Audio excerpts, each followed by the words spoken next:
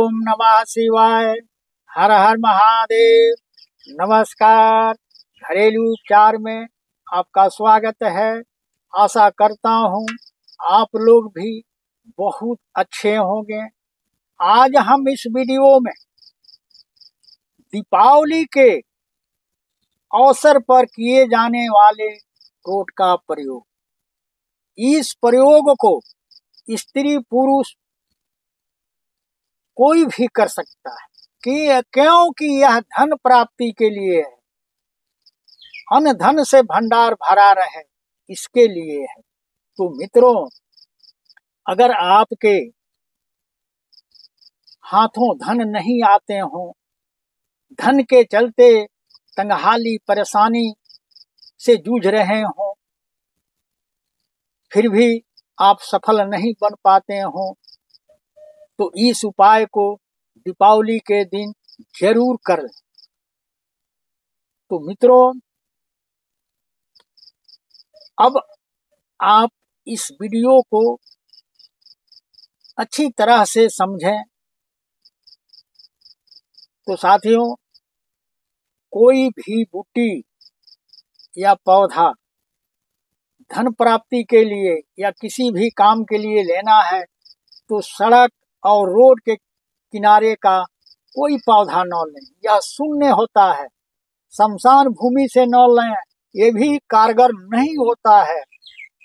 आप पौधों को खेत से लाएँ, जंगल झाड़ियों से लाएँ, यह पावरफुल रहता है। तो मित्रों, अब आप स्क्रीन पर देखें जिसका नाम है चिचिरा, अपामार्ग, लटजीरा, वोगा, अधजड़ा। जगह जगह भाषाओं में जगह जगह नाम है। हिंदी में इसे अपामार्ग बोलते हैं, चिचिरा बोलते हैं तो अच्छी तरह उसे देख लें। तो मित्रों, उसका ये ही यह पौधा है। देखिए।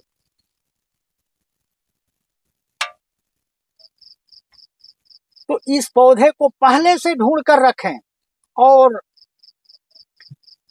दीपावली के दिन सुबह केवल जाकर इसका जड़ को लेना है। तो मित्रों, दीपावली के दिन सुबह में स्नान करने के बाद आप इस पौधे के पास जाएँ, जहाँ पहले से आपने ढूंढ कर रखा है। और हमें केवल ये जड़ लेना है मित्रों, इतना इधर इधर को काट के फेंक दीजिए। अब मित्रों वहाँ जाकर जड़ के पास पहले नमस्कार करें पौधे को। और फिर धन प्राप्ति के लिए, धन आगमन के लिए चारों दिशाओं से धन आने का रास्ता खुला हो जाए, यह सब विनती इस पौधे से करें। और करने के बाद आप उस पौधे को पकड़ें और एक ही झटके में उखाड़ लें ताकि पूरा जड़ उखड़ जाए एक ही बार में आराम से उखाड़िएगा। तो उखाड़ लेना है और उखाड़ने के बाद मित्रों, घर लाकर जड़ को अलग कर दीजिए और पत्ता तना को अलग करके हटा दीजिए, केवल जड़ को लीजिए। और जड़ लेकर साफ़ सुथरा पानी से धो लें और धोने के बाद उसी समय अपने पूजा स्थल में रख दें लाकर। अब रात्रि में लक्ष्मी पूजन के समय, अब वहाँ आप बैठे घी का दीपक जलाए, सुगंधित धूप बत्ती जलाएँ। माँ लक्ष्मी का फ़ोटो रखें और माँ लक्ष्मी के चरणों के नीचे इस जड़ को रख दें। और रखने के बाद, अब क्या क्या कामना है, क्या मनोकामना है, आप माँ लक्ष्मी से मांगे और मांगने के बाद पूजा समाप्त करके वहाँ से उठ जाए, उस जड़ को वहीं पड़ा रहने। अब सुबह में स्नान करने के बाद इस जड़ को लेकर अपने बांधने के अनुसार, अगर पतली पतली जड़ है तो उसको मोड़ मार के मोटी कर लें, इतनी सी, और लाल धागे में बाँध कर अपने दाहिने बाजू में बांधे। अगर स्त्री है तो अपने बाएँ बाजू में बांधे। अब आपका यह धनदाता बूटी कार्य करना चालू कर देगा। तो मित्रों, यह ऐसा बूटी है कि पूरे साल आपके घर में अन्न धन से भंडार भरा रहेगा और धन आने के सभी रास्ते खुल जाएँगे। धन तेज़ी से आएँगे।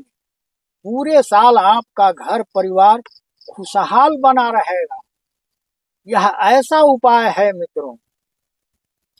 तो मित्रों, यह धन प्राप्ति के लिए, गरीबी दूर करने के लिए, यह एक अचूक दीपावली उपाय है। तो मित्रों आप इसे करके लाभ उठा सकते हैं पूरे साल। आपके हाथों धन तेज़ी से दौड़ते हुए आएँगे। तो वीडियो के कमेंट बॉक्स में जय श्री राम ज़रूर लिखें। तो वीडियो देखने के लिए बहुत बहुत धन्यवाद। तो इस वीडियो में इतना ही, और हमें दीजिए इजाज़त। नमस्कार।